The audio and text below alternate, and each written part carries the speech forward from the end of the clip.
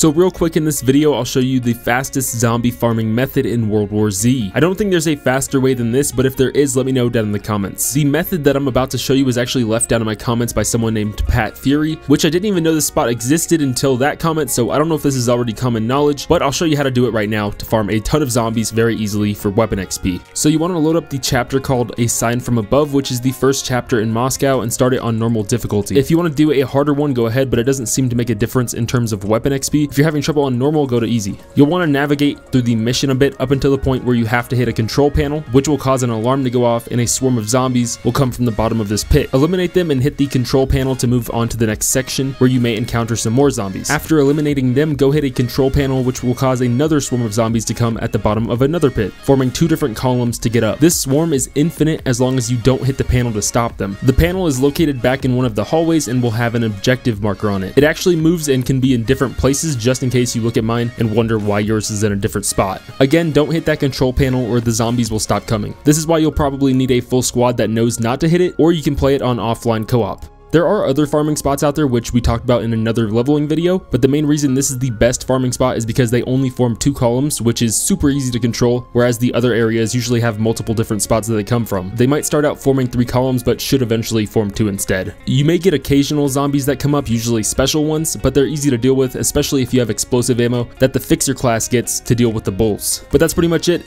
Just use whatever gun you want to level up and refill your ammo over and over again.